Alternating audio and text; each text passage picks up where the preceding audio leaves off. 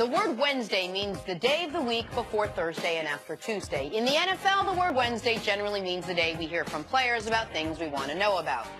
Today, former Patriot Jimmy Garoppolo. Since taking over as the 49ers quarterback, he's 4-0. He's averaging more than 300 yards per game. And it's had a lot of people wondering if New England made a mistake dealing him. Here's Tom Brady yesterday on his former backup. Well, he's done a great job. I mean, you go in there and you know get the opportunity to play and win games. That's what we're all here for. So it was good to see, and uh, you know, good for them to beat Jacksonville. That certainly helped us. Mm. I'm really happy for Jimmy, and he's worked really hard, and uh, it's it shows up when he goes out there and plays really well. All right, CC, we know what the 49ers got for Garoppolo. They got a second round pick. What do you think, if we did it all over again, what he would be worth right now? Oh, two number ones. Two number ones. And they might have to throw in a player or something. I mean, when a box of chocolate. You win three, four games with the type of talent. I mean, Jenna, they are a hundred million under the salary cap for next year. Like, you can't name five starters on their offense. Like, you would be hard pressed. Like, what he has done in learning a whole new system, which is probably Kyle Shanahan, the most complicated system as far as calling plays, understanding everything, and, and, the way he's done it. Jimmy Garoppolo has made the hot dogs in San Francisco better. the, the equipment dude is better. Their kicking game is better. Like this game is is so dependent on one position. I mean, it's amazing. It, it's mind-boggling. It's made. It's literally made their defense better. Yes. defense is playing more inspired. The, the entire team, you mentioned the complicated system. Matt Ryan, who some people would say is a top six quarterback, I, everyone has him as a top 12 quarterback, mm -hmm. took a full year to, to, get it. Yes. Jimmy G took him like three weeks. I They were 1 in 10. They, they are now the league's only undefeated team over the last month. Think about that. When, when the Pats traded Jimmy G to the Niners for a second round pick, the commentary is this, well, they only got second round pick, but it'll be the first or second pick of the second round. No, it won't. This team gonna win six games. Like they, they all of it. They went from one and ten to four and to four and eleven. I, the or five and ten. Yeah. Pardon me. So instead I, of getting two of the top thirty-five players, mm -hmm. now they're going to get one player in the fortieth. Right. Did the Patriots not know this? May, I, they saw him every day. Nick, what happened? Well, I think that the Pats, it, there's a few things that happened. He has the same agent as Brady, and he didn't want to go to the Browns. Yep. And so they weren't going to do that, deal with that, what it could do with Brady and the they politics of that. All right, just like Josh Rosen. Josh Rosen don't want to go to Cleveland. He hadn't said their name. Now, Garoppolo, because of his agent and because he did have some cachet of being in the league, he said their name in private. Now, the quarterbacks, there's, there's such an image-conscious position that it wouldn't have looked good for Jimmy G to say, "Yeah, I don't want to go to Cleveland." Like even because people would say, like, "Man, you're taking over a franchise. You should you should embrace that." No, he did the right thing. No, I want to go somewhere else. I want to go where the general manager got a five-year contract guarantee. I want to go somewhere head coach got five years guarantee. I'm going to trust my future more in John Lynch than I am with someone in Cleveland, which I know it's going to be someone different. So I think behind the scenes, they did the right thing. New England, they had to get rid of Jimmy G. They had to because he was going to be a free agent. Well, so here's the thing. The, uh, some people are going to look at this and say New England must not have known he was that good. Or they knew he was amazing, and that's why his they could have gotten more for him if they traded him this offseason. It wasn't just Cleveland that would have offered him something. They could have gotten more trading him this offseason. But if the Patriots were concerned, as I was, how good's Brady going to be this year? Because if Brady were bad this year, if Brady had been bad the first seven games of the year, or even mediocre, Different they wouldn't have traded him. Right. They, Brady would be the one moving on in the offseason. But then they get through six, seven weeks. Brady's the damn league MVP. Yes. They know Jimmy G, the only option is to franchise tag him. If you franchise tag Jimmy G, that really damages what you can do to win next year's Super Bowl. But if they knew it was this good, would you do it? I if you knew you he got to right. Okay, if so they didn't he, know he was. They didn't know good. he was quite this good. I think they knew he was really no, good. No one knows that. I think they had plenty of confidence. But look at New England. New England's got three starting quarterbacks in the NFL. They got Tom Brady. They traded Jacoby Brissett to Indianapolis, mm-hmm. and now they got Jimmy G in San Francisco. I think New England, just like the other positions, they got that position figured out how to coach up the talent so that the kids can be successful. Well, they're men now, but how they can be successful in any system because that's what we're seeing. Well, and the other thing New England did, which is interesting here, if you look at the NFC, okay? The NFC, we're about to have a changing of the guard at the quarterback position, conference to conference. Yes. For 15 years, the AFC was the dominant conference quarterback was. Peyton Manning's there, Tom Brady's there, uh, Philip Rivers is there, Big Ben Roethlisberger's there. The only like stable quarterbacks in the NFC during that time, Drew Brees and Aaron Rodgers. Other teams have had turnover. Yes. Right now, that's about to change. And in the NFC, you look at it. What teams would have been in the market for a quarterback?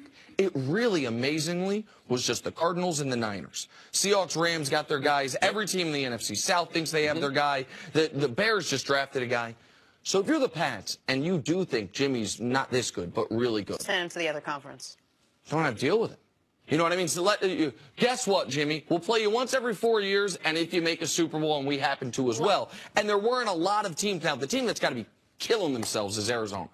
Arizona's got to be thinking, you got to be kidding me. Mm. Like we could have gotten this guy and we didn't get this guy. I, they, you asked what it was worth. Would the Niners right now trade him to Cleveland for the first overall pick? No. Absolutely. Heck no. Right. Wait, last question quickly before we go to break. You said they could have gotten so much more for him at the end of the season if he was a free agent. Why, why didn't they just do that? No, no, no. He, they would have had this at the end of this last season. They could have gotten more. This season, last he, season they last season they could have. This season he's a free agent. Yeah, yeah, they yeah. couldn't get anything. He can okay. go wherever he wants. And I believe they rejected better offers earlier. Earlier. All right, coming up is Pete Carroll upset with one of his best players. That's next on First Things First showing off his 40-inch vertical. I cannot believe this guy didn't play pro volleyball. Oh, come on. Well, they pay a little more in the NBA. Now, you talking about an unsung rookie, the 13th pick, right, Nick? Yeah, man. Man, you rookie of the year. Where's he at right now, Nick? Third, second, fourth, I think. I think fourth, fourth okay. right now. Simmons. Tatum, Kuzma, Mitchell. Hey, Manu yeah. Ginobili turning back the clock. This guy's 40. 40. Watch it again. We went from 40 inch vertical, vertical to 40 year old man with a 40 inch bald spot. That's his second dunk of the year. 40 year olds. Go full Nick. Get it all just. Whoa. No, he needs Jay, man. Jay will spray some stuff like mine and people won't know. a little paint, the world won't know what you ain't. Something, something. all right, watch this. Something we never see. Phoenix Sun Center, what? Tyson Chandler dunks the, the inbound lob. Yeah, point six. Oh, sorry. That's okay. It was the game winner. The final, final, final tick. Watch it. Hey, Memphis, I know you fired your coach, J.B. Bickerstaff. You're my guy. I know you from your time in Houston. Uh, is the interim coach. You can't let this happen How with point six on the clock. How hard is that toss? Also, you got a seven-footer Gasol um, guarding the ball. You can't, can't let him throw it to the rim. No, no, you can't. Come on. Andre Drummond showing that seven-footer. Oh, Look at that, Andre Drummond. Surprised himself. Go get it. Steph Curry had the night off. He decided to wear an Andre Drummond costume. Look at that. I think Steph helped him with his free throws this offseason. Too. Somebody did. All right, guys, follow me here. As we move on to America's team, the Cowboys season is over, but not, but is. Yes, they've got another game left, but also, yes, they're done for the year and already looking ahead to next season. After falling to 8 and 7 with the loss to the Seahawks, many have been questioning the future of Jason Garrett, but Jerry Jones seems to be committed to his head coach. Listen to this. I certainly know a lot about Jason Garrett. But because of that, I can very quickly and candidly say his job is not at issue here at all. It's not in the best interest of the Cowboys right now to be considering a head coaching change. I mean, Jerry Jones, seemingly the, the word of God here, but would bringing Jason Garrett back be the right move, CC? Uh, anytime I talk about coaches, hirings, and firings, I, I, I try to look beyond me getting rid of them and I try to replace them and try to wonder, did I really upgrade the position? I don't believe in just changing coaches just to change because, you know, they could do a lot worse. And based on what we're hearing from the coaching vacancies, there's going to be an, an unusual number of vacancies this year for head coaches. Like, and when you look at the pool of coaches, I mean, there's really not a sexy name or someone that jumps out there, not unless, and I don't think he would do it, Jon Gruden. Now, if you told me that Jon Gruden was going to go to Dallas, then I'd be like, okay, then I think that that might be an upgrade over Jason Garrett. Tell me why. Why Jon Gruden over Jason Garrett? What does he have? The reason why, because I believe that he's going to develop a young quarterback. Also, he has the type of energy that is really, I mean, it affects a locker room. Infectious I- I- energy. yes, I believe that he is a, not a good leader. I believe he is a great leader. I know he loves the game of football. I just don't know with Dallas and Jerry, sometimes there's so many other things. And Gruden is about football. You know, and and I would say that he is the most talented of all the coaches if they made themselves available. I don't think he's going to be be available. I think Jason Garrett has done a good job with Jerry because the last few years Jerry and them got it right as far as drafting the players. The players he gave him to develop, he's developed these players. They still need a few more players. We thought because they found um, Dak that, oh, now they're going to the Super Bowl. Well, they still need a few players. I believe Rod Marinelli has done a great job with their defense, and I believe that Scott Linehan, they should look at a new op- option as far as the offensive coordinator. That would be my mandate to Jason Garrett. I want to keep him as the head coach, but I need a different offense. I need something a little sexier. I need you to be able to draw up some plays to get my wide receivers open because I know my interior line and the running back and the quarterback, we're going to be good, but I do need the quarterback to grow. Now, do I trust that to Scott Linehan and Jason Garrett? I trust Jason Garrett enough to continue that process. I would hire a new offensive coordinator and try to reboot that offense. Here is here's the critical point that CC brings up about you. You can't just look at it as do we want to keep Jason Garrett or get rid of Jason Garrett? It has to. If if you're going to go with option B, you then have to discuss and you have to figure out and be right about who is replacing him. I got a list in front of me right here. 22 teams in this league have changed coaches since 2012. Those 22 teams have accounted for 77 people being head coach of their football teams in those last five years. 77 guys for these 22 teams. So think about how many teams, think about what the Chicago Bears did. They decided, you know what, we're sick of being good but not great with Lovie Smith. We're going to hire Marc Trestman. That didn't work out, so they fired him. They hired John Fox. He's about four days from being fired.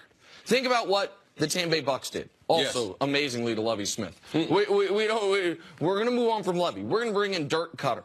He's about four days from being fired. The San Francisco 49ers. Jim Harbaugh can't get along with our management. Yep. We're going to hire Jim Tomsula. No, no, no. We're going to fire him, bring in Chip Kelly. No, no, no. We're going to fire him. Took them three coaches to get it right with Kyle Shanahan. The New York Giants fired Tom Coughlin. Not good enough. Bring in Ben McAdoo. He's already fired. Because everyone's hoping for the Sean McVay, right? Everyone's hoping for the one unknown, the one guy, the diamond in the rough that you never thought that was going to work out. But of those 77 people, there's like one Sean Well, McVay. there- right. There's, you go down the list and you're like, who, who, which of these teams? I mean, we can talk about the Raiders, the Raiders, who since Jo- Jon Gruden was their coach, Yes. no one had, they've had nine head coaches since then. Wow. Nine head coaches since Jon Gruden was their coach back in 2001. So what you don't want to do if you're Dallas is get on this coaching treadmill. What you don't want to Yes. do, what you know about Jason Garrett is this. You're not going to have a bad season. You might have a mediocre season. Mm-hmm. Jason Garrett, since he's been there, has been at 500 or above every year, except for the year they were disastrous at quarterback because Romo got hurt. They were 4 and 12 once. Every other year, they have three 8 and 8 years, two 12, oh, 12 win year, 13 win year, and then this year, where they'll be 8 and 8 or 9 and 7. Like, I just don't, I think sometimes great is the enemy of good. I know people say it the opposite. Good is the enemy of great. Sometimes in your quest to be great, you end up with Dirk Koetter, or you end up with John Fox Part 3, or you end up with Jim Tomsula, and then you're just doing this all over again in But 24 this months. wasn't, CC, this wasn't a Cowboys team that went haywire just because of the head coach. They had other issues. They they lost their running back for six weeks. They had a bunch of controversy in Right. the beginning of the season. So you can't just look at this season and just take their record separate from everything else and say, oh, that's Jason. You can just pin that all on Jason Garrett. That's what you're saying. Yeah, true. But it's um when you when you are coaching the Dallas Cowboys, you're going to be under a tremendous amount of scrutiny. Some of it justified, some of it unjustified. But Jason, to me, has proved he's more than a competent NFL leader. I just don't believe there's a lot of people that are born to lead an NFL locker room. You're talking about a very odd mix of 53 men coming from all different parts of the world, different understandings, and trying to get them on the same page, and with everything surrounding Dallas. There's always controversy in Dallas. There's always news as far as their players. Zeke, this is not new to Dallas, so you have to have a coach who can manage that. I'm going to give you guys a couple names who I believe they might not be available, but they are well suited. The number one candidate, I believe, even outside of Jon Gruden, is David Shaw of Stanford. Now, his biggest problem, his dad is Willie Shaw, great NFL coach long term. I grew up with David, Minnesota. Willie was there. His wife and him feel like they have the best job in the nation in coaching at Stanford. And so their question is, is this job or is this place a better place, a better life? So I believe he'll stay at Stanford. And until he wins, Jim Harbaugh at Michigan.